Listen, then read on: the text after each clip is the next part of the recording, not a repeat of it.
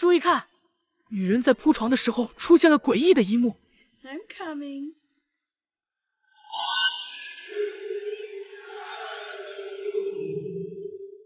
旁边的小儿子虽然看到了这一幕，但他年龄太小，还不懂什么叫害怕。女人把他抱起来准备走，一回头居然看到卧室墙上有一大片污渍。他搬来一个凳子，开始清理那片污渍。小儿子在身后坐着，他擦拭的过程中回头看儿子，发现儿子正在盯着天花板发笑。循着儿子目光看上去，天花板上什么东西也没有。小孩子乱看，他也没有多想，接着把污渍给擦拭干净。昨天他们一家四口才搬到这里。夫妻俩厌倦了大都市的生活，查到这个农场的价格低到离谱，他们就买了下来。女儿贝拉正值青春期，恬静的农场或许还能减轻她的叛逆。这天夜里，一切都还很正常。父亲大壮还安慰女儿贝拉，以后农场的生活会非常精彩。第二天一早，他就开始收拾农场，妻子阿莲在卧室收拾床铺。这时候就发生了视频开头的一幕，而阿莲不知道的是，墙上那片污渍里藏着一桩惨案。十年前的这栋房子里。一个女人害怕的把儿子藏在床底下，而冲进来的凶手当着孩子的面将女人一把摔在墙上。那片污渍其实就是女人的血渍。男孩从床底下钻出来逃跑，正好撞上了跑上来的姐姐。姐姐本来还想救母亲，但看到凶手的影子正往外走，他赶紧拉着弟弟下楼逃跑。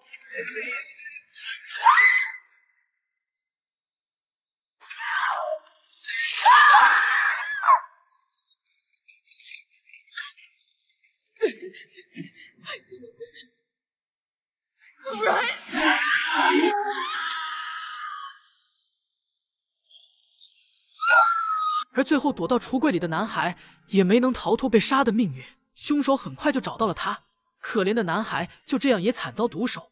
时间回到现在，阿莲搬来的第三天早上，他刚从美梦中醒来，好心情就被卧室对面的墙一扫而光。昨天那片已经清理干净的污渍，居然再次出现在了墙上。他下楼拿清洁剂，准备把卧室的污渍再清洗一次。女儿被拉过来拿车钥匙，他要陪父亲去镇上买种子。来到镇上的超市里，大壮开始挑选需要的东西。贝拉被旁边墙上贴的简报吸引，他大致看了一眼，都是本地发生过的大事件，其中一张关系到他后面的生死。只是当时他没有注意，感觉超市太无聊。贝拉和父亲打招呼要出去转转，大壮叮嘱他不要走远。超市旁边的球场上，贝拉结识了本地少年小阮，两个人聊了一会儿，成了无话不说的好朋友。没办法，长得美的人交朋友就是这么快。家里面，阿莲正在收拾厨房，小儿子狗剩在自己吃饭。忽然，勺子上的倒影吸引了他，他看到后面房顶上有个东西在爬。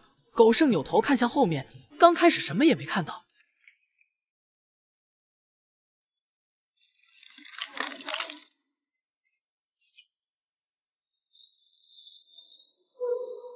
这次狗剩看到一个东西在房顶攀爬，他感觉很好玩，就跟着往里面走去。那东西在房顶诡异的挪动着，吸引着狗剩往前面走。而阿莲还在洗涮餐具，根本没注意到儿子离开了餐桌。那东西爬到最里面，一转弯消失在了一扇门后。狗剩看着它消失的地方，才注意到这是地下室的门。门前的地上还有一些他不能理解的划痕。这时候门锁自己转了起来，锁眼里能看到门后似乎有什么东西。狗剩呆呆的看着里面正在刷碗的阿莲，无意间回头，这才发现餐桌旁的儿子不见了。就在狗剩伸手准备开门的时候，阿莲走过来把他抱了起来。狗剩这时候还不会说话，阿莲充满爱意的教育他不要乱跑。父女俩埋好种子回到家，阿莲正好又在清理墙上那片污渍。女儿问母亲要不要帮忙，阿莲就吩咐他把几箱杂物搬到地下室。贝拉搬着箱子去开地下室的门，却发现怎么都拧不开。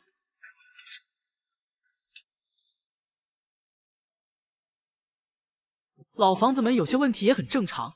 贝拉没有往别处想，打开地下室的灯，开始搬东西。破旧的地下室堆满了杂物。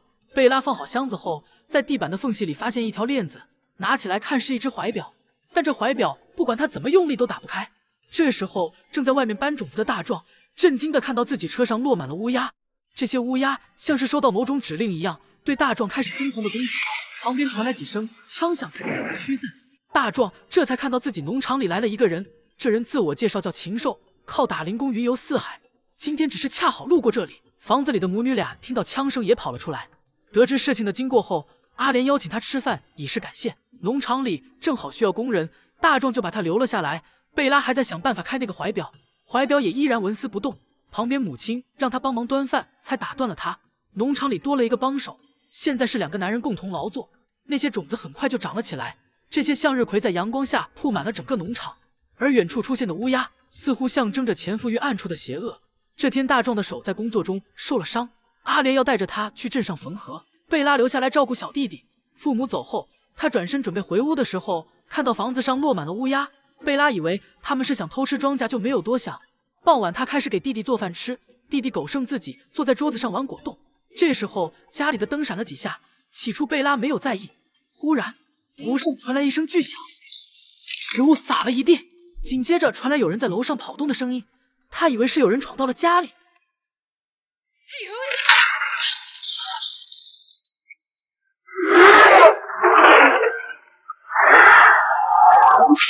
似乎有某种看不见的东西在进行破坏。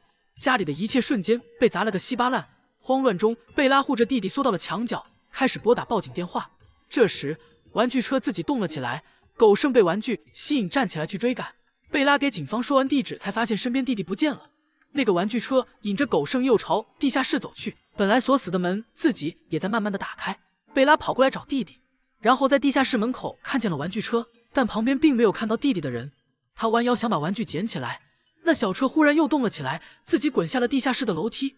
就在这时候，弟弟狗剩却从后面走了出来。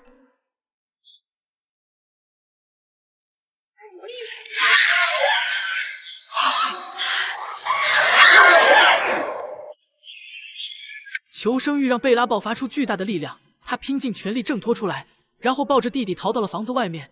禽兽闻声赶来，问他发生了什么事。惊魂未定的贝拉还没来得及说话。就震惊的发现，房子里整洁如初，完全没有打杂的痕迹。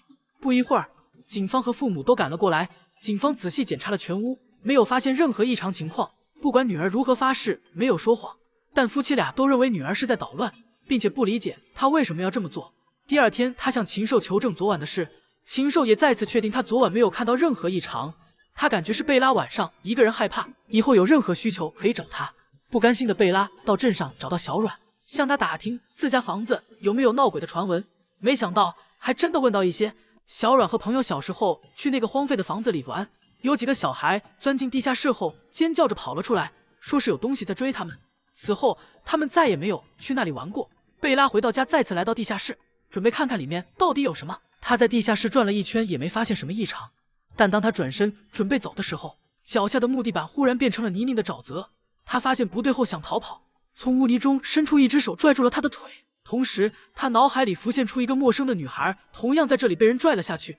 这强大的力量把贝拉从楼梯上拉开，倒向了身后那片沼泽。当他背部着地的一瞬间，沼泽又变回了地板，周围的一切也都恢复了原样。阳光下的葵花农场温暖又平静。刚地下室发生的一切显得那么的不真实，父母肯定还是不会相信的。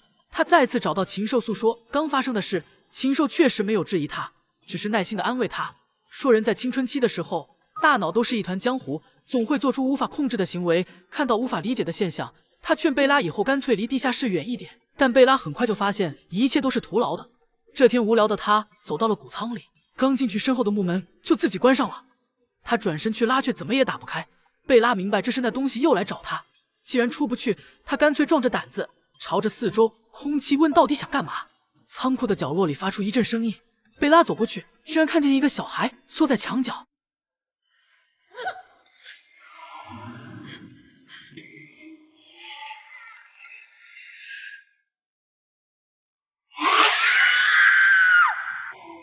这次贝拉被送进了医院，医生责备夫妻俩不关注孩子的心理健康。他检查后认为贝拉的伤势自残导致的，虽然没有危及生命，但那些抓痕也是触目惊心。希望父母回去后多多关心孩子。回家的路上再次发生了争吵，父母不理解女儿为什么一直添乱，当然更不相信谷仓里发生的事。贝拉回到卧室就生气的扯掉了脖子上的纱布。这时桌子上那块一直打不开的怀表，现在却忽然自己弹开了。这种诡异的事，贝拉已经麻了。他拿起怀表一看，里面女人的照片感觉有点眼熟。夫妻俩在楼下反省自己，觉得对女儿的态度非常不好。大壮上楼想找女儿谈话，才发现。贝拉不知道什么时候跳窗出走了，大壮赶紧开车去追。他刚走，农场上空就聚集来大量的乌鸦，正在干活的禽兽也注意到了这诡异的现象。乌鸦盘旋了几圈后俯冲下来，朝着禽兽扑了过去。禽兽在乌鸦的群攻下毫无还手之力，很快就被啄晕过去，倒在了地上。房子里，阿莲准备哄儿子睡觉，身后的墙上忽然开始发出声音。他回头发现，墙上那片污渍再次出现，而且还在不断的增大。更诡异的是，污渍的纹路也在变化。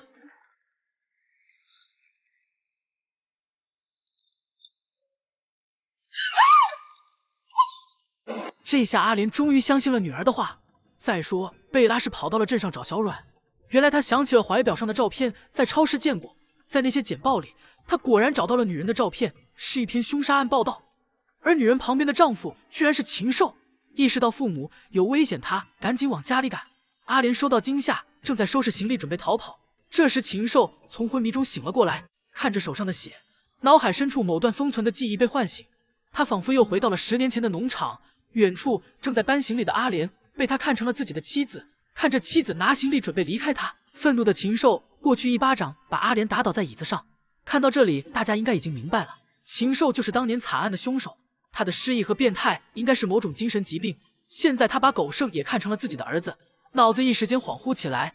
阿莲趁着他恍神的功夫，一把将他推开，抱起儿子冲进屋里，躲到了地下室，并反锁了门。禽兽跟过来疯狂砸门，暂时被阻挡在外。后面的剧情就比较简单了。赶来的小阮被禽兽偷袭，直接打晕在地。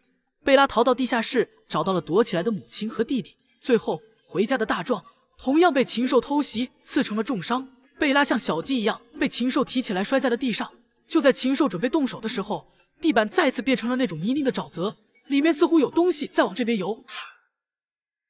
My family is going to stick together.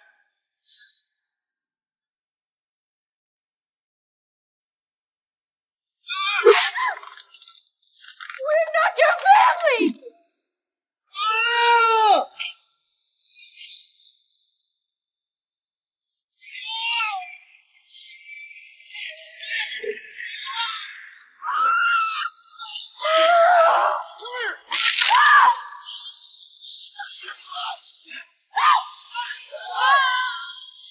罪恶的禽兽终于得到了应有的下场，贝拉一家恢复了往日的宁静。第一年的葵花籽就获得了大丰收，他们将在这里幸福的生活下去。